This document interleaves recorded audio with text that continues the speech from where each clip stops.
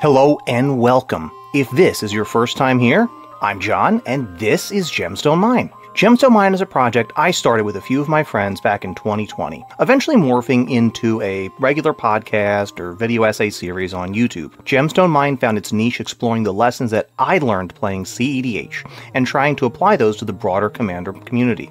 My goal with Gemstone Mine has been to make CEDH and concepts derived from CEDH gameplay and deck building more accessible to anyone who wants to learn. That's how the channel arrived at the Lessons from CEDH series, taking some of the higher level strategic or deck building concepts that CEDH games are won or lost on, things like seating order, pod composition, stack management, and using priority.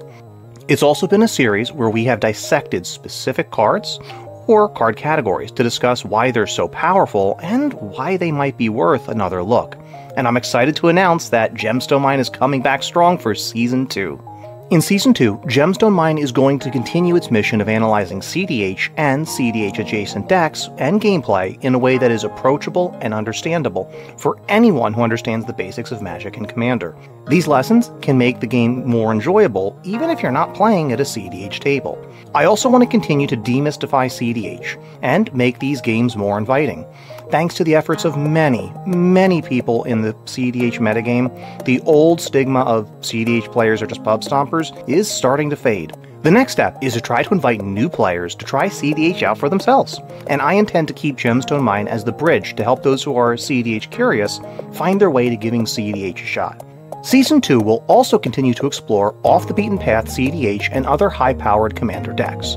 I've done a few video primers in the past with decks that I've brewed and had some success with, like Malcolm Kediss Polyhorn and Azorius Vol combo, and I'm going to highlight more decks in this vein in Season 2. So while I still want to do lots of lessons from CEDH, there's going to be a few recurring series that we're going to be releasing.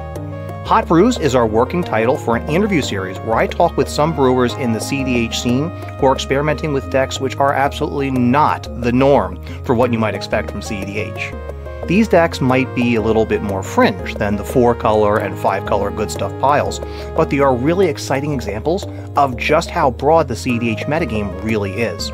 Some of them may even inspire a new brew of your own, with some new, unique tack that these brewers have discovered.